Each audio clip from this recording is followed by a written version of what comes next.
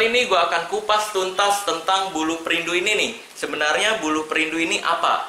Karena konon katanya, eh, konon ya, jangan dibalik. Karena kalau dibalik jadi...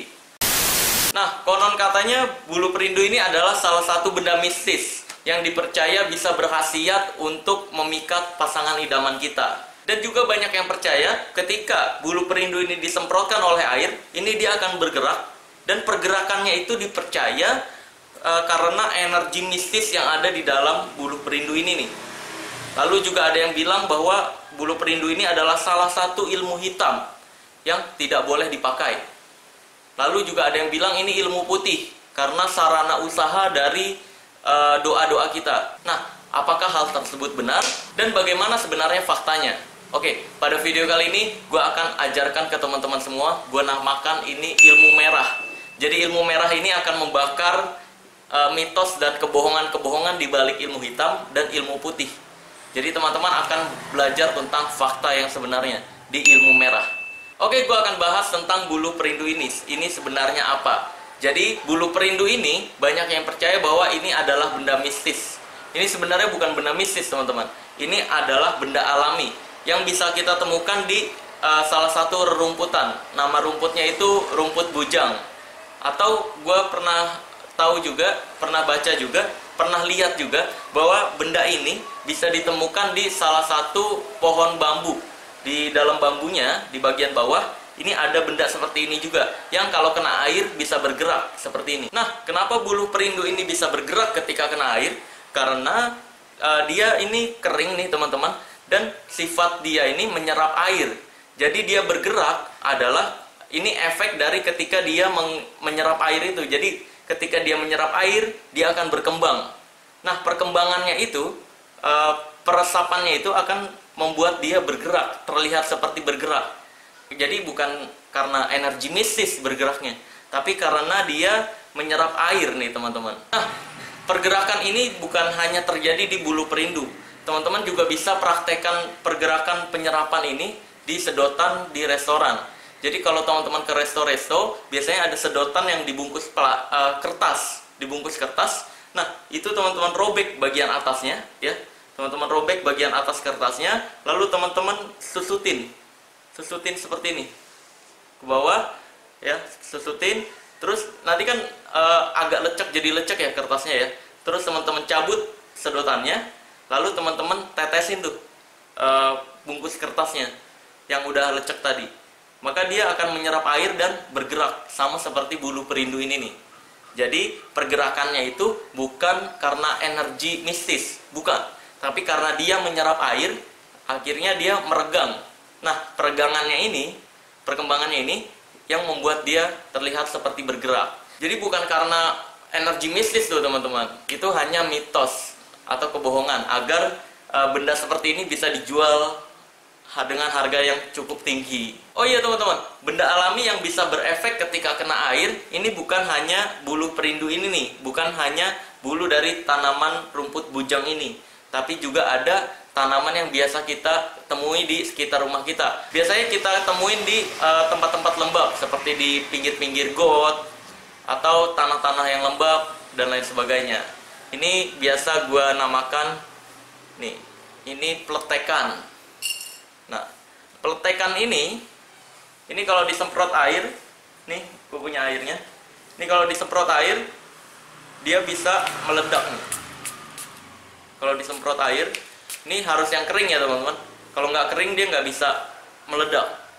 Jadi kalau disemprot air tuh meledak. Dia akan meledak seperti ini. Nah, tapi karena tanaman ini banyak kita temui di sekitar rumah kita, makanya dia nggak terlalu terkenal. Makanya dia nggak bisa nih dibuat mitos seperti bulu perindu ini nih.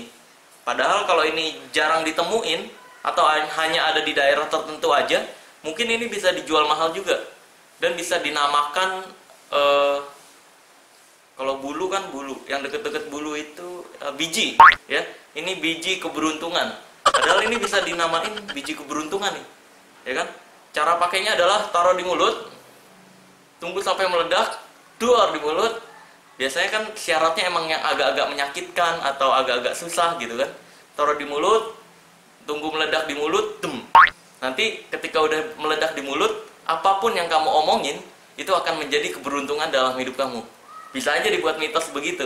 Tapi karena ini banyak dijumpai di sekitar rumah kita, maka dari itu ini nggak bisa dijual mahal seperti bulu perindu ini. Karena bulu perindu ini hanya bisa ditemukan di katanya ya. Gue nggak tahu bener atau nggak. Katanya rumput bujang ini banyak di daerah Kalimantan atau di daerah-daerah iklim panas di daerah sekitar pegunungan katanya seperti itu jadi udah tahu ya teman-teman bahwa bulu perindu ini adalah ini benda alami nih sama seperti peletekan ini yang berefek ketika disemprotkan air nih ya teman-teman gue tekankan sekali lagi kalau emang pelet ada harusnya sekarang ada pemulung yang pacaran sama artis. Jadi pemulung nggak perlu lagi tuh nyari-nyari botol, uh, gelas plastik dan lain sebagainya. Dia tinggal beli bulu perindu ini ya kan? Terus dia pergi ke deket-deket artis atau sekitaran artis pakai baju yang bagus lalu olesin minyak bulu perindu ini. Nanti si artis bakal suka kalau emang bener ada gitu kan? Kalau emang bener ada. Terus suka dia kaya. Karena si artis kan duitnya banyak ya. Jadi uh, dia nggak perlu jadi pemulung lagi. Selesai kan? Kalau emang pelet ada seperti itu. Tapi sampai sekarang tuh nggak ada sejarahnya pemulung pacaran sama artis. Uh luar biasa. Ini pemulungnya ini ya. Pemulungnya cowok nih ya. Kalau pemulungnya cewek ya masih ada kemungkinan. Karena cowok nggak terlalu mentingin siapa dia gitu. Nah kalau pemulungnya cowok pacaran sama artis cewek uh luar biasa. Baru gue akan percaya bahwa pelet itu ada. Kalau ada uh, sejarah seperti itu. Jadi sebenarnya bulu perindu ini uh, adalah tanaman alami sama seperti letekan ini. Nah, kenapa ada orang-orang yang berhasil memakai bulu perindu ini untuk memikat pria atau wanita idaman dia? Jadi hal tersebut berhasil bukan karena efek dari bulu perindu ini, teman-teman, tapi efek dari karena dia percaya pada apa yang dia yakini. Jadi gini, uh, ajaibnya manusia, ajaibnya manusia itu adalah ketika kita uh, memikirkan sesuatu, ketika kita memikirkan sesuatu, mempercayai sesuatu, eh memikirkan sesuatu, mempelajari sesuatu akan merubah keyakinan kita. Keyakinan kita akan merubah tindakan kita. Tindakan kita akan merubah kebiasaan kita. Kebiasaan kita akan merubah kenyataan kita. Nah, kenapa mereka bisa terjadi? Karena mereka mempelajari bahwa yang mereka pelajari ya, yang mereka pelajari adalah bulu perindu ini adalah mistis, benda mistis yang berhasiat untuk memikat lawan jenis yang dia sukai. Nah, yang dia pelajari tersebut akan merubah tindakan dia. Tindakan dia mungkin dia jadi beli uh, bulu perindu ini, beli bulu perindu ini lalu baca di internet atau tanya ke si duk-duknya itu, ya. Uh, ini gue samarkan ya. Karena kalau gue bilang dukun nanti bilangnya gue menjatuhkan profesi. Jadi gue bilang duk-duk ya. Oke, jadi dia langsung mempelajari tentang bulu perindu ini, cara pakainya. Lalu dia ikutin doa-doanya, dan lain sebagainya. Nah, kepercayaan dia tersebut ketika dia udah mempelajari doa-doanya, sudah mempraktekkan cara-caranya, lalu tindakan dia akan berubah. Ketika dia minum misalkan airnya, dia akan berubah tindakannya, akan lebih percaya diri, ngedeketin si uh, wanita atau pria idaman dia. Dia jadi ngedeketinnya lebih percaya diri, dia jadi berani telepon karena dia udah yakin nih, wah dia pasti bakal suka nih sama gue nih, karena gue udah pakai ini gitu. Masa iya nggak berhasil gitu? Nah, apa yang dia percaya akan merubah tindakan dia. Tindakan dia kan udah berubah nih. Jadi lebih percaya diri, jadi berani telepon, jadi berani SMS, jadi berani WhatsAppan, jadi berani uh, ngobrol sama dia. Yang tadinya mungkin malu-malu karena nggak percaya diri. Nah, ketika tindakan dia berubah, kebiasaan dia berubah. Yang tadinya dia kebiasaannya malu-malu sama wanita atau pria, jadi dia lebih percaya diri sama wanita sama pria. Jadi dia uh, eh, SMS sama banyaknya sama banyak orang, berani ngobrol dan lain sebagainya. Kebiasaan dia berubah, maka ketika dia tembak atau dia menyatakan cinta bisa jadi diterima. Karena kenyataannya juga akan berubah uh, seiring waktu berjalan, cepat atau lambat. Jadi awalnya adalah dari apa yang dia pelajari.